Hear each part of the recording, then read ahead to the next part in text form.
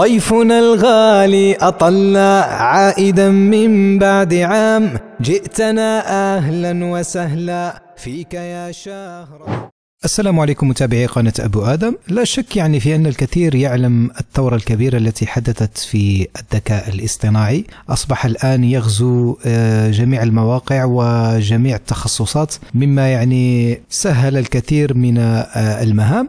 في درس سابق آه، قمنا يعني بشرح الخريطة الذهنية والتي تعتبر أفضل وسيلة لتلخيص الموضوعات ولتدوين الملاحظات وتسجيل المواضيع. وذكرنا يعني في ذاك الفيديو الذي سأضع رابطه في صندوق الوصف وتجدونه في هذه الدائرة فوق. ذكرنا آه، الموقع الذي استعمله شخصيا في رسم الخرائط الذهنية اسمه ويمسيكل وهذه واجهته. لاحظ هنا آه، قاموا بإدخال الذكاء الاصطناعي حتى في الخرائط الذهنية. وعلى كل حال في هذا الموقع هي نسخة مجربة عندما تفتح الموقع تجد هذه الواجهة يعني بعد تسجيل دخول وفتح حساب خاص بك. لم أود التطرق إلى كيفيتها لأني آه، أود التركيز فقط على الذكاء الاصطناعي في هذا المجال. لاحظ هنا تظهر لك هذه القائمة. يمكنك فتح مساحة العمل الخاصة بك هنا مثلا create new تضغط عليها هنا. آه، تقوم باختيار كيفية ظهور آه، مساحة العمل الخاصة بك. نختار مثلا هذا الخيار board. لاحظ هنا تظهر لك هذه نخفي هذه. تظهر لك هذه القائمة هنا. نقوم بالضغط على هذا الخيار. آه، إذا أردتم يعني أن نشرحه مفصلا فاذكروا ذلك في التعليقات. لكن سنركز مثلا على هذا الأب. لاحظ بالضغط عليه هنا. يظهر لك الأب الأول للخريطة أو مركز يعني آه، الموضوع الذي تريد تلخيصه. لاحظ هنا مثلا نكتب أنواع مثلا أنواع النمور. لاحظ أنواع النمور. يدعم يعني حتى البحث باللغة العربية.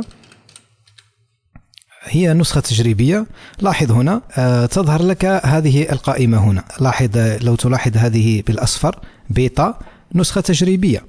آه، هنا لو قمت بالبحث بنفسك ست يعني ستتعب أنواع النمور ثم تقوم بالبحث وتفرع كل شيء على حدة. هنا بضغطة زر يعطيك خريطة متكاملة آه، ويمكنك أيضا التعديل عليها لأنها يعني قد تظهر يعني ليست بالكفاءة المطلوبة. قلنا هي نسخة تجريبية. لاحظ هنا كم يعني فرع أخرج لي هنا يمكن مثلا النمر السيبيري النمر الهندي النمر الإفريقي النمر المالاي.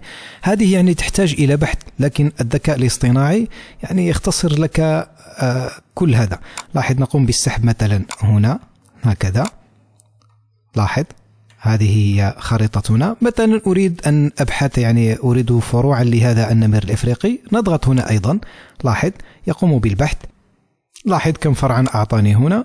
قلنا آه، هي ليست متكاملة. يمكنك التعديل عليها هنا بالضغط مرتين مثلا وكتابة أي شيء لكن يختصر عليك. لاحظ هنا مثلا آه النمر التبتي. لا أعرف ما هو ولكن لاحظ نريد فروعا له.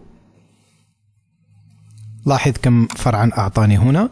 آه مثلا هذا النمر المالاي لاحظ أعطاني فروعا له أيضا. مثلا النمر السيبيري لاحظ هنا أعطاني فروعا أيضا. آه مثلا النمر الهندي لاحظ. لديك في دقائق يعني معدودة خارطة متكاملة لاحظ. يمكنك التعديل عليه كيفما شئت. يمكنك هنا مشاركة مثلا هذه النتيجة أو أو طباعتها أو لاحظ هنا يمكنك هذه الخيارات. مثلا أريد تحميلها. لاحظ هنا لاحظ قام بتحميلها على شكل صورة.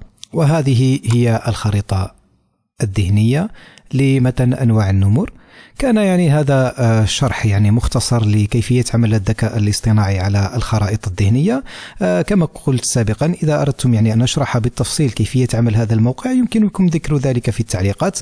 وكانت هذه هي نهاية شرح هذا الدرس. ألقاكم في درس قادم.